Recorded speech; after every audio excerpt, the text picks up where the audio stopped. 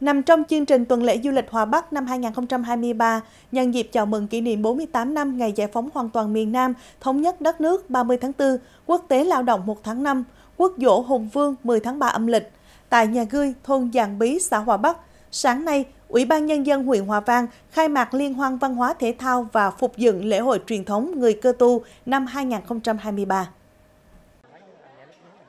Tại đây, đồng bào cơ tu hai thôn Giàng Bí, Tà Lan cùng nhau dựng cây nêu, làm lễ kết nghĩa ăn thề, biểu diễn điệu múa tung tung, gia giá, đi cà kheo, đổ nước vào chai và chế biến các món ăn truyền thống.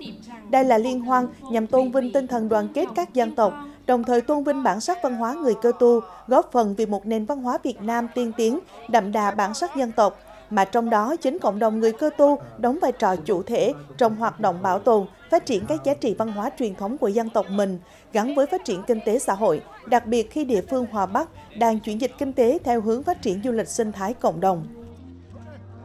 Con rất chi là tự hào khi là một trong những thành viên tham gia cái điệu múa tông tông gia giá con được gọi là vũ điệu dân trời.